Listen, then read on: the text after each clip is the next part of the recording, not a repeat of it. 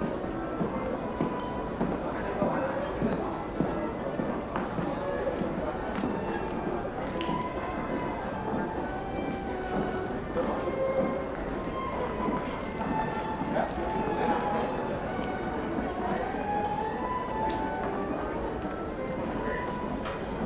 杜总，杜总。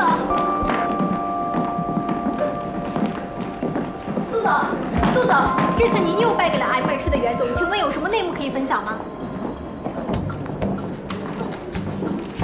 不好意思，各位，我们今天只是要来参加酒会，其余消息请关注局域的官方媒体，还有发布会。林总，当年您就是从 M H 出来以后加入的 GE，那么此次失利是否代表两家公司的实力仍有差距呢？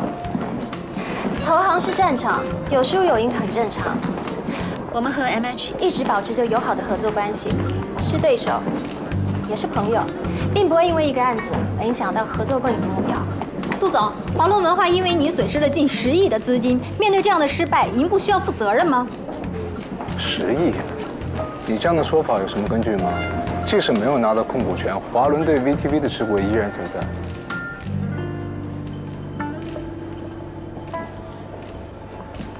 十倍。林总，麻烦您也说两句吧。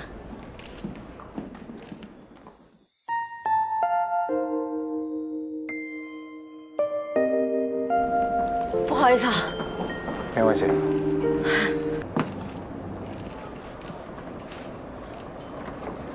我女朋友就在这儿。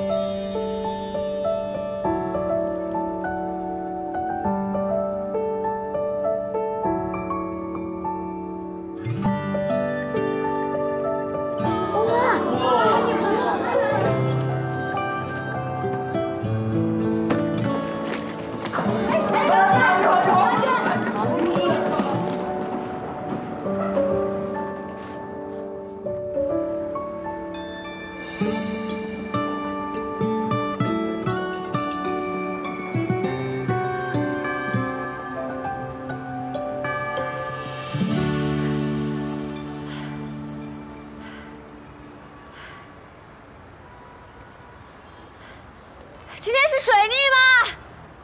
不放过一次机会整我！林泰墨没见到，还这么狼狈离开，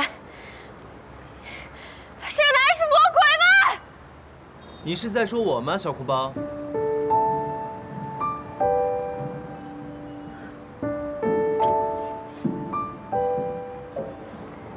你怎么知道我在这儿？从小遇见了委屈，就喜欢往高处逃。这么多年过去了，你还是那么好猜。是，你袁总通透人心。那你猜猜看，我现在想干嘛？你找了一个演技那么拙劣的演员，恰好他又是你朋友，而我又当众羞辱了他。你现在一定想破口大骂，但是呢，你又不知道该怎么开口。没关系，想骂就骂吧。恭喜你，你猜错了。你根本不值得让我生气。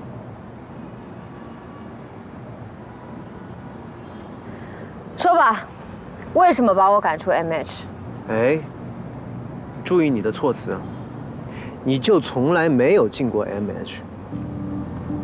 我的面试成绩绝对有资格进入公司，而且据我了解，近五年来 MH 从来没有在终面淘汰人的先例。恭喜你啊，江小姐，你就是这个先例，荣幸吗？你应该知道，在投行这个圈子里，女性的比例不超过百分之二十。这份工作所需要的能力、耐力、抗压力，是很多男性都达不到的，更何况你。你是一个连眼泪都会过敏的人。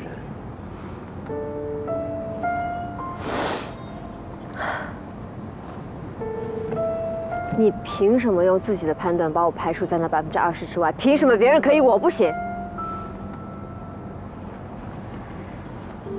不管你这次说什么，我都不会再躲了。我告诉你，元帅，我一定要进 MH。